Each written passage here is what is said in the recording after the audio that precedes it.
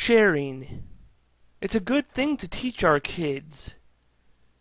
To teach them to not be a hog. Share that video game controller. Don't hog the game to yourself. Share some of your money. Don't be so greedy. Share a story with somebody. Read them a book. Share your bed with your kids, like when they're scared or it's a storm outside and they have a nightmare. Share that bed. As long as they're your kids, of course. You don't want another lawsuit like the Michael Jackson case. Heck, even share your clothes if that's what you want to do. But by all means, people, make sure you teach your kids the definitions of sharing and the limitations of sharing. Because this brings me to the point of this video, the thing that pisses me off. Although this is more of a thing that just disgusts me. It doesn't really piss me off, it just sickens me. And that is when people shares food.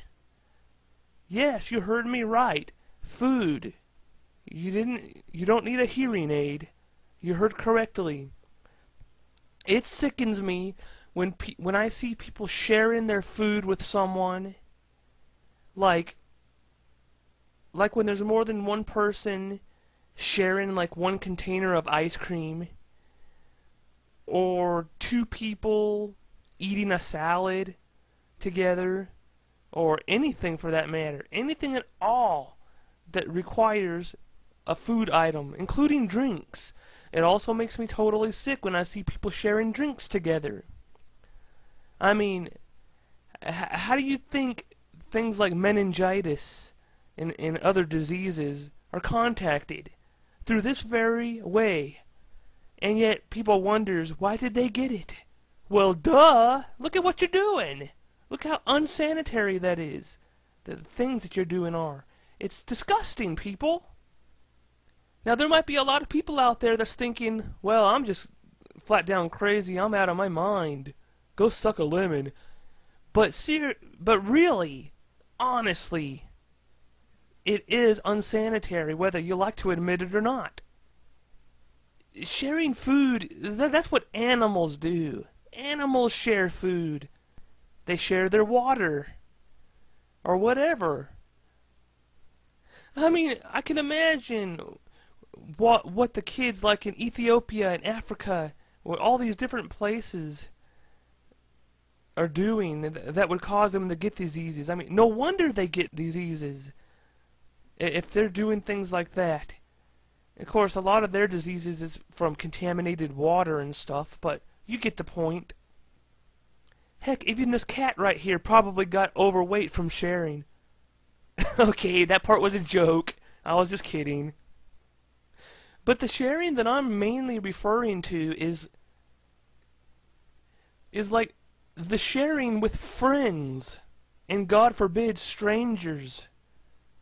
Or, yes, even family. Even just family members, it's not good to share food with. It's not good to eat out of the same container, carton, bowl, whatever the heck it is that the food is in.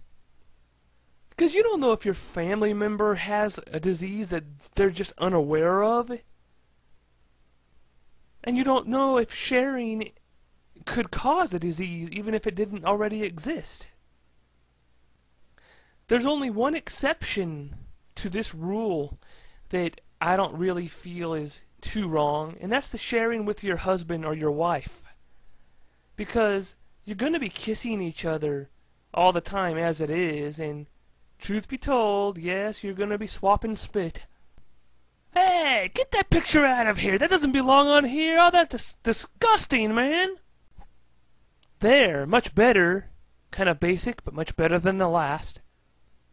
Anyways, as I was saying, but that's the only person that you should be trying to share food or drinks with. Your loved one, your soulmate, your significant other. Not with your friends who God knows where they've been. Is it's as bad as when you let a dog lick your face and you know darn well that their tongue has just been on their butt not long before that. Something else that I think people's gross when they let animals do. Lick them. Ugh. This completely weirdo psycho girl that I used to hang around with in the past offered me a sip of her drink once and I refused it. And I saw another girl that I once liked, I don't know why now.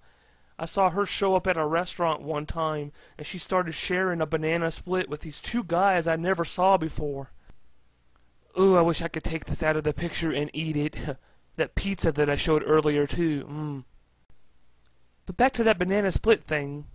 It's like that was so disgusting. I was so repulsed by that.